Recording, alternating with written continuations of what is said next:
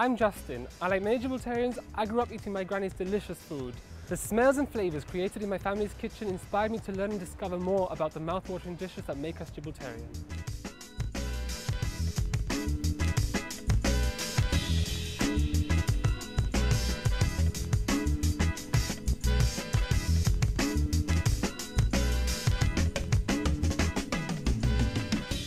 Today I'm going to be making some Italian and Spanish inspired recipes. As you know, Gibraltar has a very vibrant culinary history and lots of different cultures make up what is Gibraltar.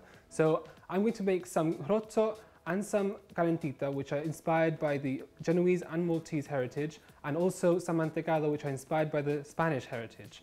I'm going to be making the uh, rosto first, and afterwards go on to the calentita and the mantecado, as the rosto takes some time to cook, and um, let's see how we get on.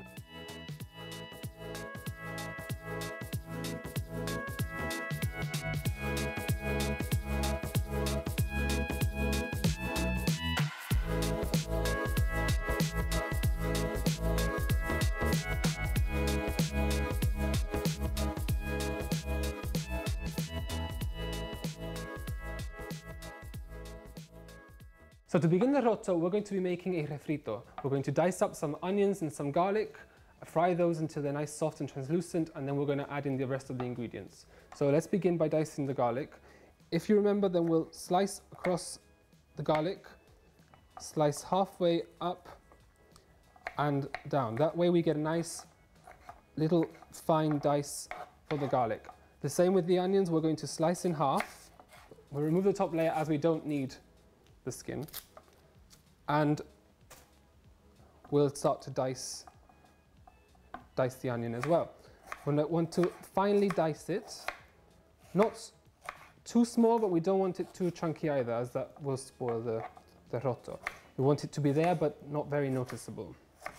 So, and once you have this ready, just uh, put it straight into the pan and fry before we place the onions and the garlic to fry, we're going to chop up the carrots. This way it's already in set, so as soon as they're translucent, we can add the carrots and add the sauce, and we can dice up the meat in the meantime and just add it straight into the pot. And we can leave that to stew, and once everything's nice and ready, we can boil the pasta and carry on with the rest. So let's just dice the carrots now and go from there. So we'll cut the ends off, oh, we don't need those. And uh, I like to cut these angular and lengthways because I want the carrots to be a statement part of the uh, dish. So we want them to be visible and we want everyone to enjoy them. So don't cut them too thick, don't cut them too thin, but leave them nice and lengthwise. Uh, we need about two or three carrots. This, this dish should feed about maybe three or four people, so you should have enough there to satisfy everyone. Look, not every family likes to use mushrooms, my family's always made it with mushrooms. I know every Gibraltarian family can make the rosto, make different dishes their own way. They've adapted it as they've grown up. But I like to use mushrooms. So if you want to add some mushrooms, use about three or four different mushrooms, wash them, make sure there's no soil on them and just chop them up. Just take the stalks off because we don't want that part and just chop it up nicely and thinly. So your vegetables are chopped. You want to prepare a nice pan with some hot oil. So you need to just put, use a dollop of oil and add your onions and your garlic. So we'll put, pour these straight into the pan. Make sure it's hot first and uh, straight in there. Don't add, the, don't add the carrots just yet, but pour in your onions and your garlic and everything in there. Wait for this to stew for a bit. Just shake it up to make sure everything's nice and spread out and leave it there until it's nice and soft. When that's ready, we'll add the carrots and we'll add the mushrooms just before the carrots. If you're using them, if you're not using them, then just go straight to the carrots. Uh, wait until that's a bit soft and we'll add the sauce and we'll add a one stock cube, a beef stock cube. If you're using chicken, use chicken stock cube. We'll cover it, we'll let it stew.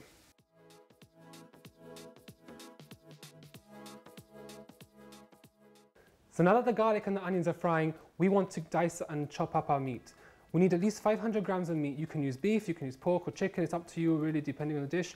The more traditional that I'm accustomed to, that my mama makes, is the beef. So we're going to uh, chop them up into not too small chunks.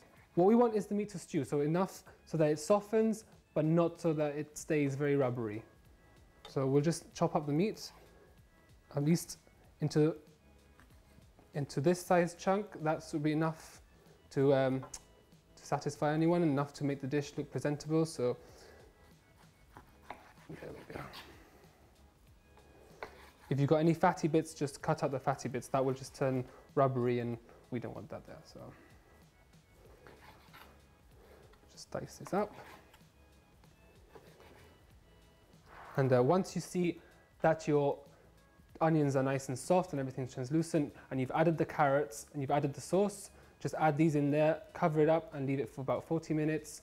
It should soften up and in the meantime we'll boil a kettle and we'll boil some, some pasta. The onions are looking nice and soft now, so I'm going to add the mushrooms straight into the pot. So. I'm going to stir this up just so they soften a bit and uh, once this is ready, I'm going to add the carrots straight into the pot and leave that there just to soften a little bit.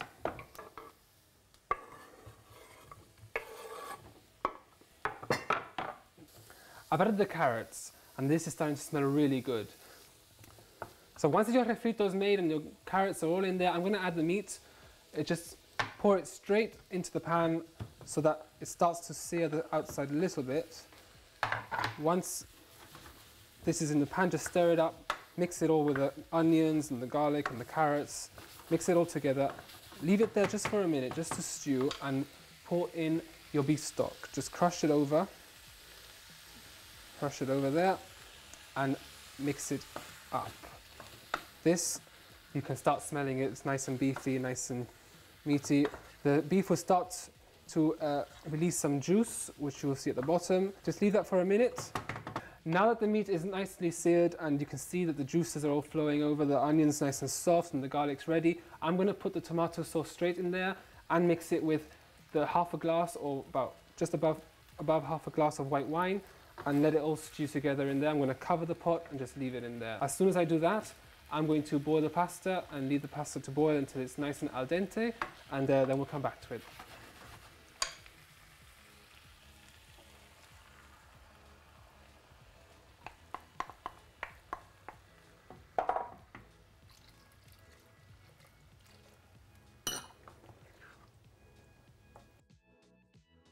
we need at least a handful and an extra one per person. So if you're cooking for two or three people and this dish makes about three or four people, we'll need a handful each. So we'll just pour that in. And then one extra just because there's always leftovers so we don't want anything, we don't want too much sauce, we don't want too little. So we'll just add the extra bit in there and we'll cover it up. And we'll leave that with some salt, a little bit of oil so that it doesn't stick. But that's it for now. Now we're going to leave this there just to cook and stew, leave the pasta to boil, and we'll move on to the next step. We'll move on to the calentita next. It's a very simple Gibraltarian dish. It only has a very few ingredients.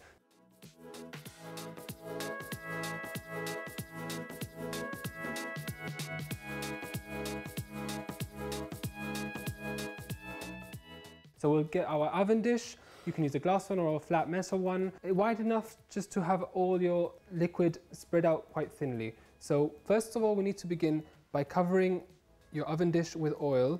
Not too much, but just enough to cover the base. And we rub these down the sides, just like this.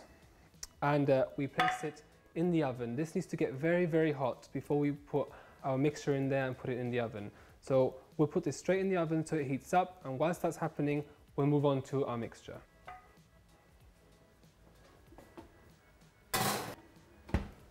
Leave it in the oven at about 200 degrees, 225 degrees. We just need to get it very hot and nice and bubbly, so we'll move on to our mixture in the meantime. So grab yourself a bowl. You need a whole packet of chickpea flour, that's about 93 grams, 100 grams, and pour it straight into the bowl. We need to just put it all in there. Once that's there, just season it with some pepper, some black pepper. So we need to crack some black pepper over that. Depends how, um, how strong you like the taste. So I like it quite peppery, so I'm going to put quite a bit of pepper in there. And uh, then we need to put some salt as well. So season it with quite a bit of salt because uh, we need this, it's very bland, so we need to season it. So just pour in some salt and then we'll pour in our water. We need 850 milliliters of water and just pour it straight into the center. So I just pour that in there.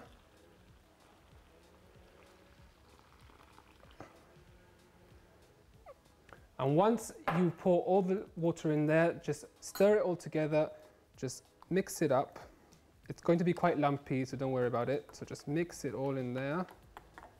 If you want to use a spoon, you can use a spoon. If you want, just use a whisk. But uh, just stir it all up. It has to be a liquid, very fine, not too fine liquid, but just enough liquid and uh, remove the lumps. So now that it's all mixed up, it's okay if it's a little bit lumpy, but it's, once it's all mixed up, uh, we need to let it sit. So I tend to leave it for at least a minimum of two hours in the fridge or preferably overnight. So all the liquid will start to mix and sink a bit and it all becomes nice and smooth. We can just go ahead and use it now. So it depends if you want to prepare it beforehand, you can prepare it as you do it. So once your oven dish is hot and this is nice and smooth, we'll pour this straight in there and uh, we'll leave it in the oven for about 40 minutes to an hour depending on your oven. You'll see that the sides will become all nice and crispy, the top will congeal and the inside will be nice and soft.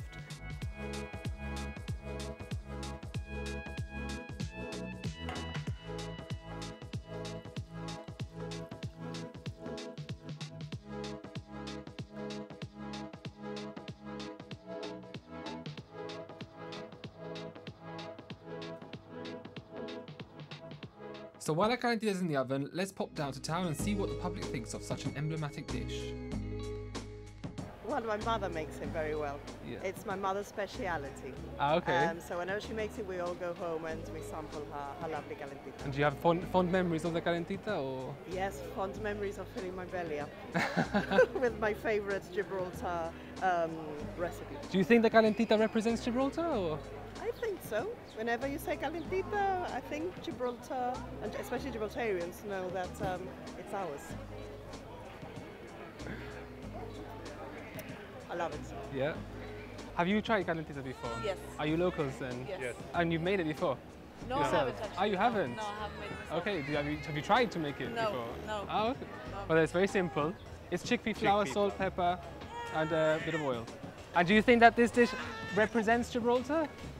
Yeah, definitely. See, I think over the years, after It hearing has. it from pretty much everyone, todo el mundo calentita, calentita, but we've got a whole day after it now, calentita. Yeah, we do. So So is it something, it's something that maybe the younger generation should continue making so it doesn't get lost? Yeah, definitely. I think a lot of things that we, you know, acquired from past generations should be kept alive, you know.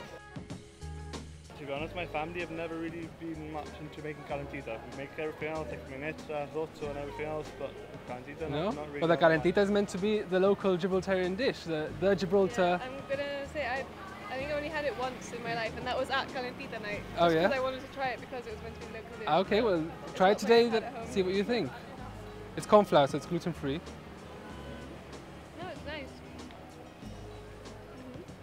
Yeah. But would you think this dish says Gibraltar, or is it is No. it the Gibraltar dish? I think it's a bit like too plain to be Gibraltar. I think it has to have more, Okay. more going I think on. more rosto, minestra, and all the other dishes are a bit more, you know, traditional. more, sort Say more Gibraltar, more, no? more Gibraltar for me. Okay. But it's when- nice though. Try some, please. Mm. So, Good. you're local here, no? Yes. Have you made it before then?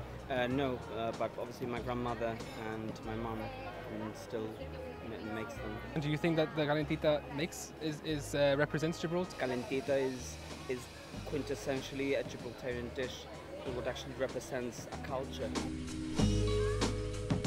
Have you have you tried calentita before? I've Yes. never tried calentita. And you guys are from Gibraltar, no? Yeah. And how have you not tried it before? So no, I've heard a lot about it, but I've never actually had one in my mouth. well, try one. Come on, please let me know what you think then.